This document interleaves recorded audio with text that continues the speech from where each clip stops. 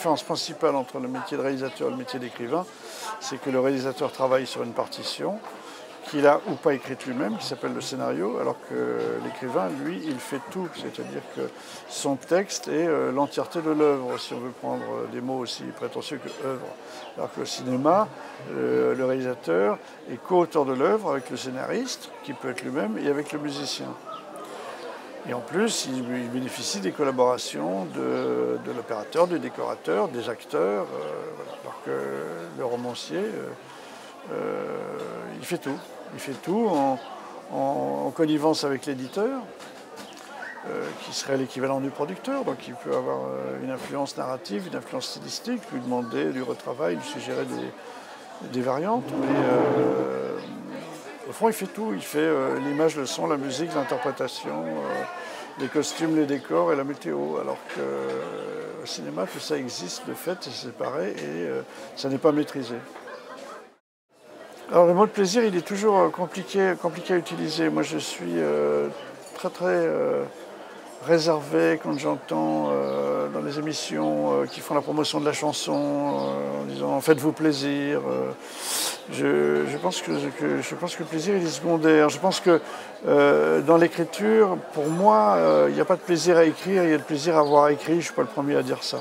C'est-à-dire qu'il y a une satisfaction qui peut advenir lorsque le, fruit du travail semble rassurant par rapport au projet. Euh, le cinéma, ça se fait en bande, c'est une affaire de, groupe.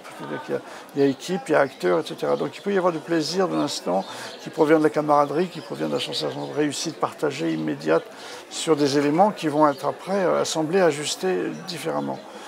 Donc euh, avec toutes les réserves qu'on met euh, sur le mot plaisir,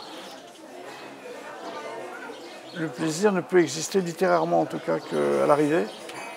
C'est-à-dire qu'une fois qu'on considère le texte établi, euh, et qu'il peut exister plutôt dans le processus au cinéma, si on veut établir des comparaisons, il me semble toujours dangereux. Je pense que se faire plaisir, contrairement à ce que j'entends beaucoup dire, moi ça me semble dangereux parce que ça me semble euh, ouvrir la porte à des pertes de lucidité. J'ai du mal à établir des comparaisons euh, très très strictes entre mon travail de réalisateur et mon travail d'écrivain. Euh, notamment en ce qui concerne l'espérance des émotions qu'on pourrait susciter euh, chez le spectateur ou le lecteur. Euh, d'abord parce qu'un film, une fois qu'il est fait, c'est un objet court. Ça se projette en une heure et demie. moi, je ne fais pas de série longue, donc ça se projette en une heure et demie, en gros, deux heures peut-être. Et ce qui est au fond un temps narratif très court par rapport à un roman.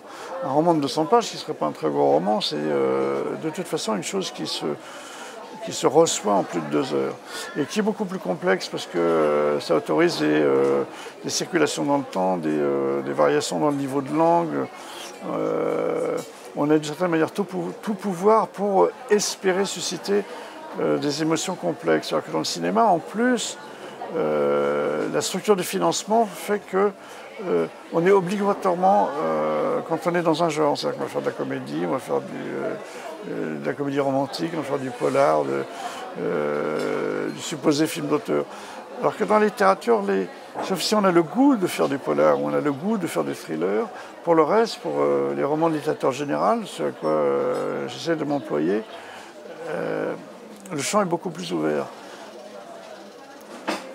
Donc l'espérance, euh, l'espérance, euh, c'est de susciter des émotions, c'est de susciter, alors là pour le coup du plaisir, c'est de susciter euh, l'envie de continuer, l'envie de revenir chez le lecteur, chez le spectateur, c'est au cinéma, c'est susciter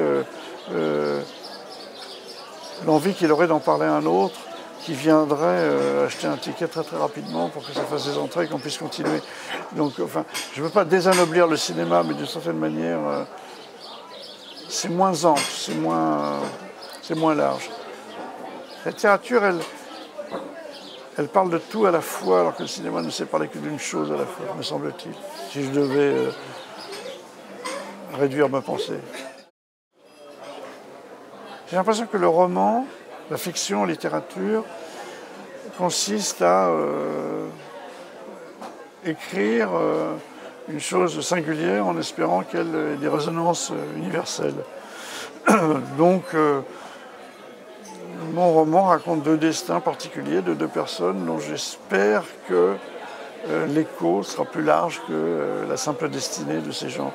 Et comme ces deux personnages qui traversent en gros les 40 dernières années du siècle, précédent et un peu au-delà, j'ai l'impression que ça peut éclairer un certain nombre de lecteurs sur la période qu'ils viennent de vivre et qui les a sûrement un tout petit peu façonnés.